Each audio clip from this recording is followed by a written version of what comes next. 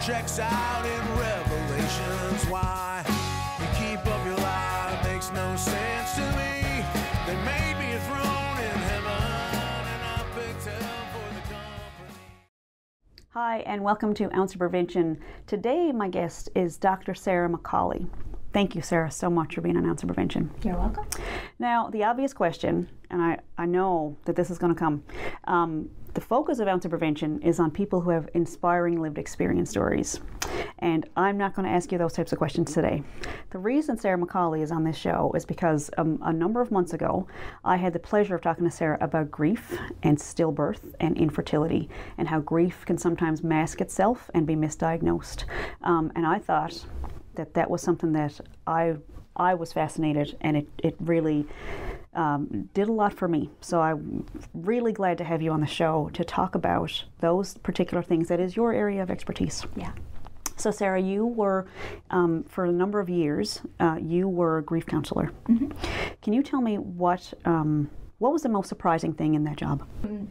One of the things I discovered and that was surprising, or in hindsight, not all that surprising, is that what we think of as being grief can actually be uh, very normal grief. It can be what we expect with tearfulness, sometimes uh, frustration, lack of motivation, lack of hope, sense that things are never going to get better.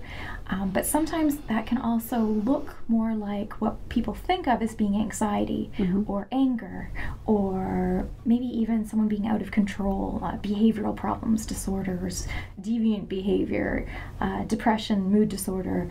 It can even look so unusual that um, sometimes grief can come across as being like some sort of cognitive disruption, uh, maybe even like an Alzheimer's like symptom like dementia. Wow. So it seems like, especially here in Newfoundland, years ago, you'd hear stories like, you know, after Ethel died, you know, Frank just, you know, walked out into the ocean, or Frank stopped working, or Frank wouldn't eat, or those seems seem to be before our connected social media world. People were allowed time to lose it for a little while, and that seems to be more now there's a time limit almost placed on grief where are you still talking about that thing? Like aren't you over that? Don't you? Personally didn't you have another baby? Mm-hmm. yeah. So can you enlighten us on the time limits of grief and So there aren't actually time limits to it, but you're right. I think socially people do expect that after a certain amount of time, and maybe they think that's two hours, and maybe they think it's two weeks, two days, two years, um, they think you should somehow just be over it, and that means uh, you've forgotten about it. You maybe you have this traumatic resilience or traumatic growth, and you're actually a better person for it. Uh, but in reality, what we know is it's much more of a roller coaster, and we're definitely not over it in two days or two weeks. Now, some people just aren't going to have as strong a grief reaction as other people, and that might be because the situation was different. It might be because of their own personality and temperament. It might be because of the supports that they have and their coping strategies right we never really know. But um, generally speaking, grief usually lasts a lot longer than when we think it will. So, all of those helpful or intendedly helpful platitudes, like, you know, um, it's probably better this way, um, it's time to move on, uh, they're there, it, it will be better. Um, even things like, um, you know, they're in a better place, that stuff usually isn't helpful to hear. Those are the kind of things that you individually or personally might be able to come to eventually. Yeah. But having someone else say it to you can feel prescriptive. Absolutely. It feels like it's a judgment call. It feels like people are telling you, in fact, they're enforcing on you their limit to your Right, grief. So they're saying, okay, you've now crossed a line where this is no longer normal, definitely not socially acceptable, Right. now you're making me uncomfortable, so you gotta at least fake like you're better. you mentioned uncomfortable what what do you think as a psychologist what is it about hearing somebody else's grief that makes people so uncomfortable Well, I guess um, I, I don't have anything sort of researchy or scientific to say around that, but personally, and, and I guess anecdotally, I think most people are more used to handling positive emotions, uh, slight frustration, uh, maybe some annoyance and irritation, but we're not really comfortable maybe because we're not very familiar dealing with sadness, with grief, with loss, we quickly want to have a solution for everyone. Right. And if we don't, we feel like we don't have anything to contribute. So maybe that's sort of the one pill fits all. Maybe it's the idea that we must be doing something. Maybe it's a sense of responsibility for other people that sort of takes over. I think a lot of us want to be the expert in a situation and we want to feel like we have control over it. Right. So knowing the right thing to say seems like something you can strive for. Right. Seems possible. But So, someone mentioned to me one day um, that when you speak to a family member, I mean, when your heart is broken, um, that family members want you to feel better in the moment, but that when you can reach out to a therapist, they have a better, um, they, they'll give you techniques to grieve in a healthy way. Whereas when you reach out to people who are close to you, they want you to feel better in the moment. They want you to, I don't want you to leave this house feeling bad. Here's some tea. You're better now, right? You're not going to mm-hmm. come back next week. And, and even if you did go back a bunch of times, it's to fix it in the moment. And therapy seems to be more inclined, more geared towards coping for the long term. It's a big life change when somebody, especially with grief, with, with loss, mm-hmm. your life is drastically different. So, what do people what someone that doesn't have someone that lives in a remote part of newfoundland for example that doesn't have access to a grief counselor at the health science for example what would be your recommendation for that professional um, oversight? Or someone with a guiding principle that is going to look at the long-term benefits of grieving in a healthy way? Well, I guess when we look at a more of a formal counseling session, one of the first things we do as psychologists, and I know as like social workers and nurse practitioners, there's we all have similar sort of ethical standards, and we make sure that um, a client understands before we even begin that the therapeutic process can actually be a difficult one.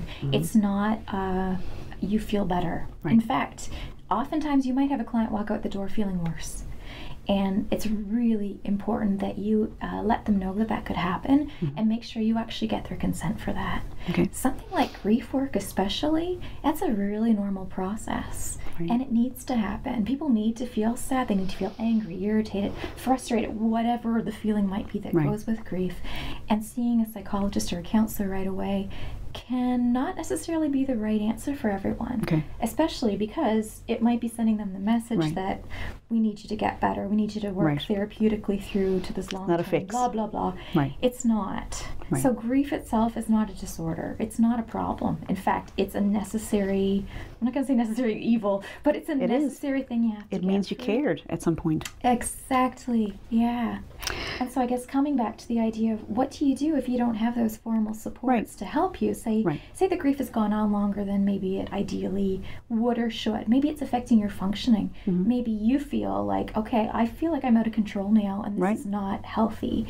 In that case, you know, family and loved ones their common sense and their instinct might be to try to make you feel better. So they're there. Here's a cup of tea. Now, there's nothing wrong with a cup of tea no absolutely Um, not maybe if they're offering you your fifth beer, there's a problem there, and, and maybe if it's uh, Shots, Kleenex and shots. tissue, and sure, or their tranquilizer, or whatever leftover prescription they have, that's a problem. Right. That's not so good. right Um, and in that case, yeah, we need to stop looking just at the short term and Right. start saying, well, you know what? Maybe even as a loved one, even as a friend, maybe there's someone who has the capacity that they can offer you something a little bit different. right And by a little bit different, I mean someone who can maybe sit with you with your grief. okay They can help kind of bear witness. They can sort of hold that emotion with you. They can let you express it, not cut you off.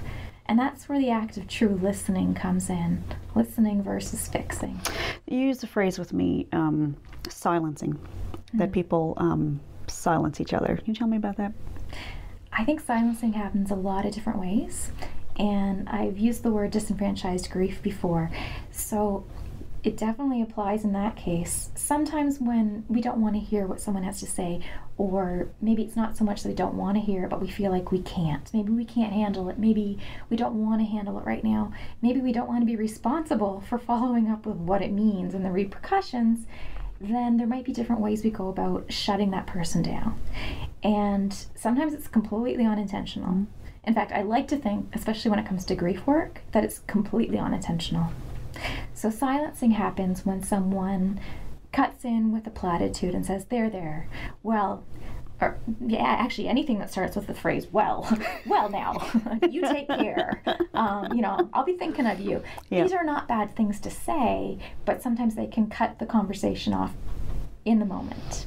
So those are kind of like the the little moment mechanical things. Yeah. But silencing itself, I think, is a bigger thing, and that's more the not leaving a, a place that someone can be sad in, um, making it unacceptable socially to cry, um, making it clear that your expectations for the family get together is that everyone's going to be smiling and happy, um, that if you're off crying in the corner, you're somehow making others uncomfortable. Or you you're should have stayed home. Yourself. You should have stayed you home if you're going to cry. home, That's right. Or If it's like, too hard, you should stay it's going to home. be hard on the children. They shouldn't see you like this.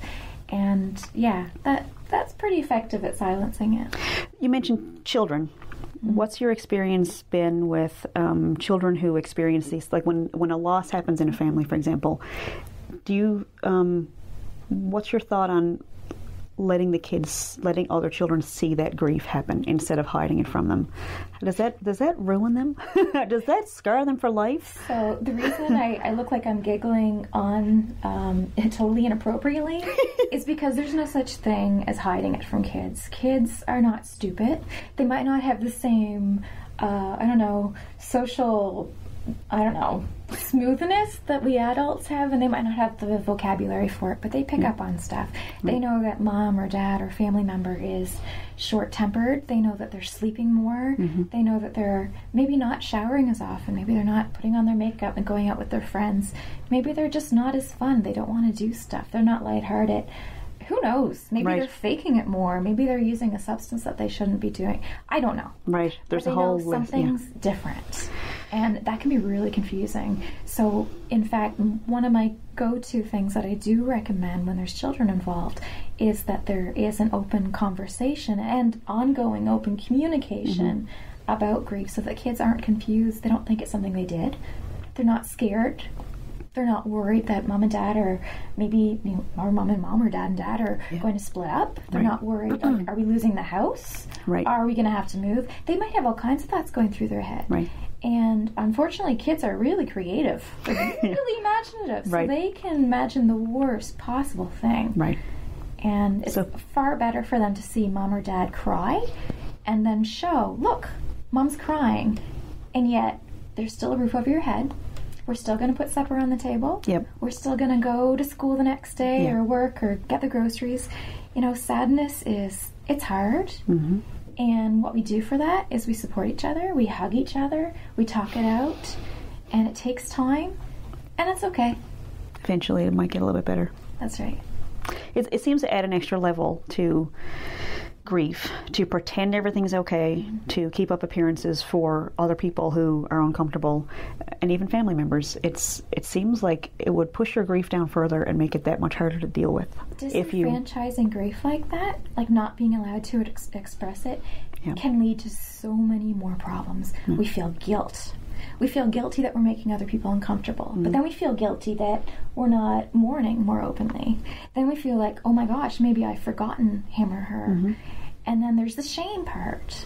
And then we start thinking about, oh, our gender. Well, I'm acting too much like a woman, or I'm not feminine enough. I'm a, I'm a bad mom. I'm a bad wife. I'm a, or father or husband. Like whatever your role might Right. be. There's so much stuff that gets messed up in there, and then because grief does cause so many other things to be happening, like say lack of concentration, difficulty remembering things, Right. irritability, difficulty sleeping. You are more tired, so you need more sleep, but you're also not going to be as productive as normal. Right. Then we start to judge ourselves and think, oh, I'm a bad worker, I'm doing poorly. Right. We get more anxious, and it becomes this awful cycle. Right. so what happens what's the time now there's no timeline exactly and there's are there five stages of grief is that a real thing or is there Well, I don't like the word stage because it sort of suggests Right. it's uh, this separate thing. right And personally, I can go from anger to sadness to Back sort to of acceptance and then back to the anger. Right. And, and I think most people are probably like that. So there might be five major labels that might happen throughout the roller coaster. Maybe they're themes. Themes. Yeah, and you Okay. hope that some of the themes become more prominent Right. as you move through this roller coaster. Right. I think one of the scary things is that when you're in that depth of despair, that it feels like it's permanent and it's never going to end, and this is your new normal. And when you look around and look at cues around you, like, well, things are different. This mm-hmm. person isn't around. This baby was supposed to be here, and now it now he or she isn't. Mm-hmm. It's there's it's really hard to see if there's a light anywhere in, in your near future. What do you tell people that come in and they just figure? I mean, obviously there is an option to end it. That's I know that goes through a lot of people's mind when they've lost someone that's very close to them. Um, when you choose to keep on going, what what do you tell people to keep them hopeful? You touched on a lot of things there, so I guess um, I'm gonna I'm gonna touch. We on have lots of time. We have lots of time. Sure, but um, you know, I, I guess one of the big things that jumped out at me when you're you're saying that was, um, of course, the risk of suicide. Yeah. We're really scared about even using that word, and often, you know, even as a psychologist, sometimes my gut instinct is to kind of tiptoe around it a little bit and talk about hurting yourself or hurting someone else. Right. No, I'm talking about suicide or homicide Right. Right. And I'm not necessarily going to get graphic with details and it's at the same time it's really good to be very frank and upfront about it. Absolutely. People get really uncomfortable about anything that's sort of taboo socially. Yep. And unfortunately, we know 1 in 26 people does think about suicide at some point in their life. I would wager to guess that uh, people who've, I, I'm only coming from a um, loss and stillbirths perspective, but I remember sitting in grief support groups where every single person at the table said, Yep, I've thought about driving my car into a, a brick wall or into Yeah. oncoming traffic. Um, and what I find interesting about people who don't want to talk about suicide, it is always an option. It's an, for the most part, be- teenagers and young people is a different thing, but it is an option for an adult. It's yes, it will make people sad, but sometimes that is the only way out.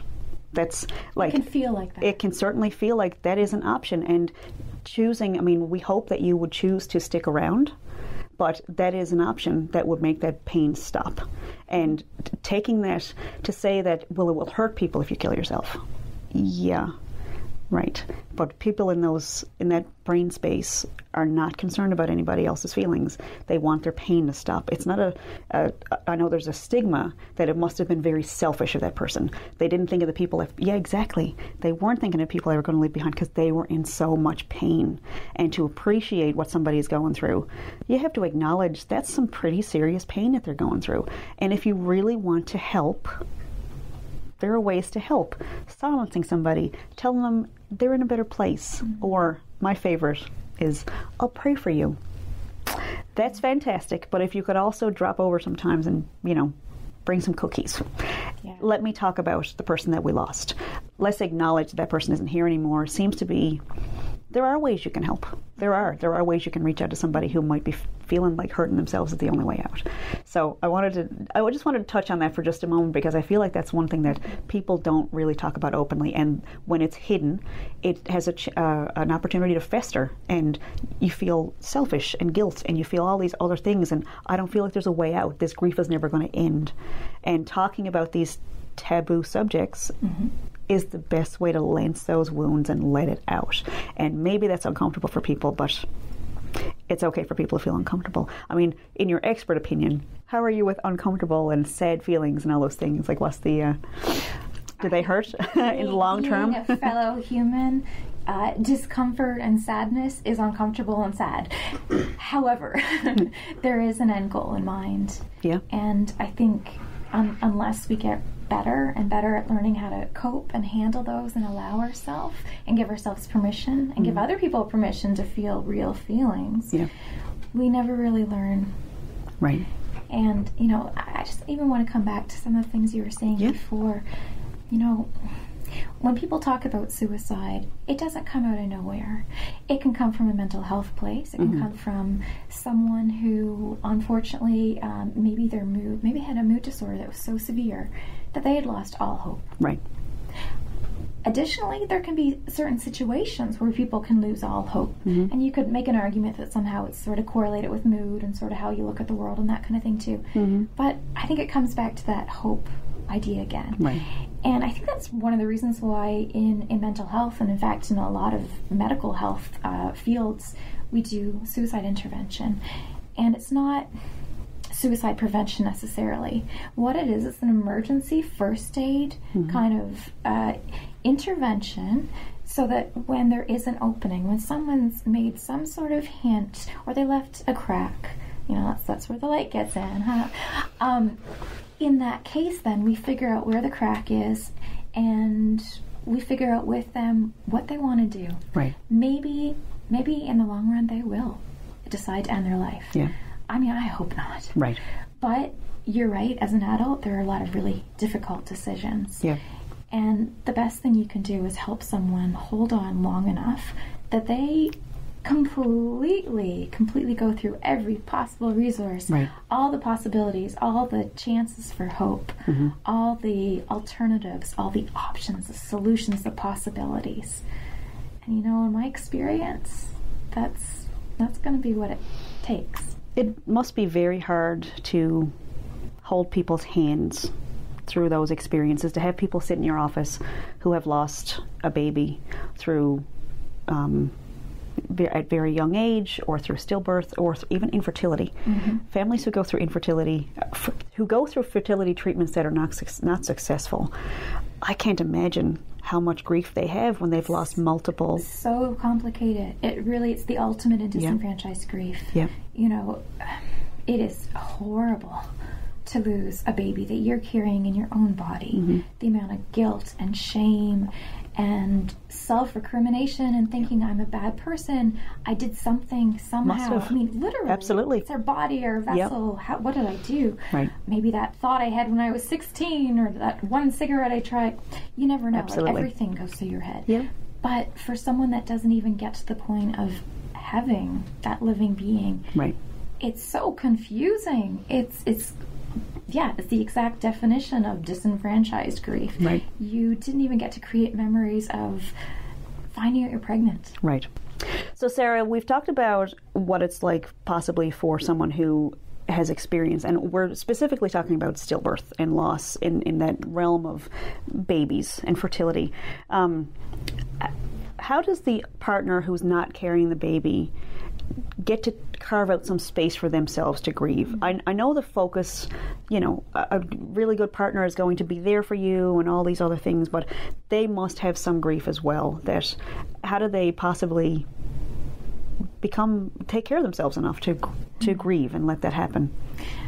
Well, first off, I think it is really important to actually acknowledge that they absolutely are grieving. Mm-hmm. And grief that's happening for a partner, especially, is going to be complicated mm-hmm. because they don't have memories made with this little one. They don't have the experience, maybe, of feeling the flutters in their belly. Yeah. And they might feel very, very responsible. Or the opposite, they might feel so out of control, like there's nothing they can do Yeah. it can be really hard on a relationship and it can be hard on an intimate relationship it can also be hard on a parent or even an in-law relationship to to grown-up children mm-hmm. because we we do want to be able to help each other we feel like we should somehow magically know what to say what to do mm-hmm. and we definitely want to be able to swoop in and make it all better Right. but unfortunately, there are a lot of limits to making things better.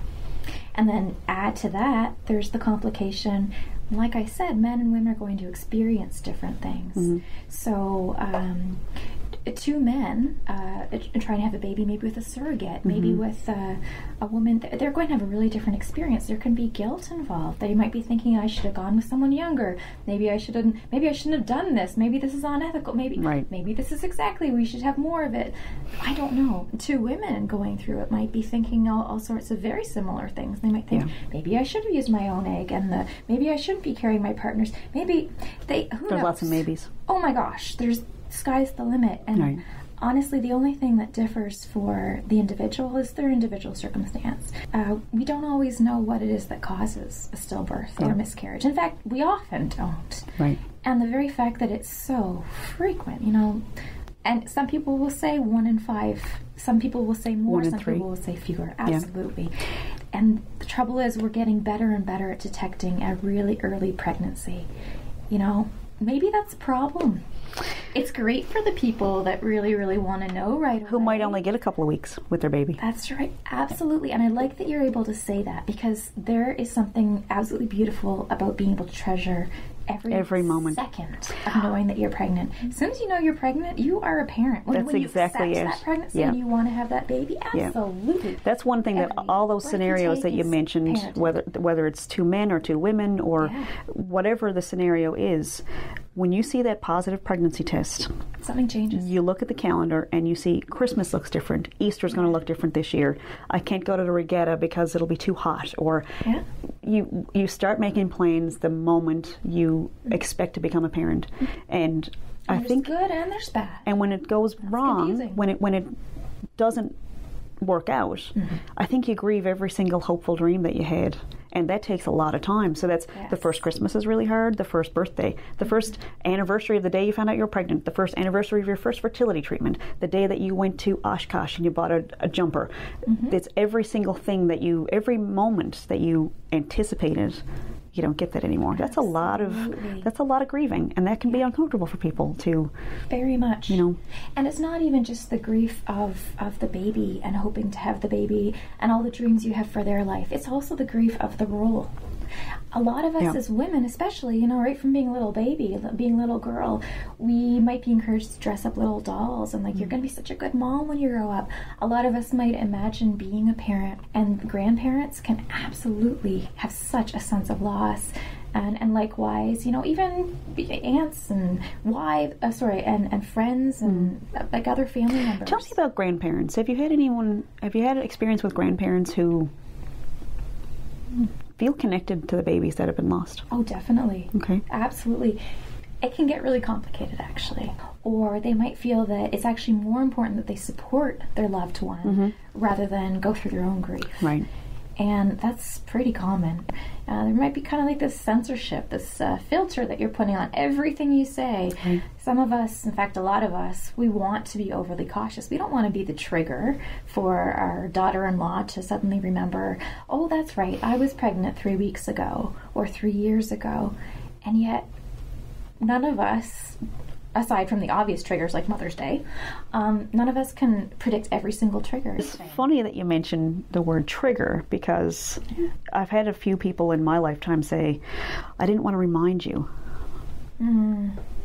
I can tell you without unequivocally, I never forget.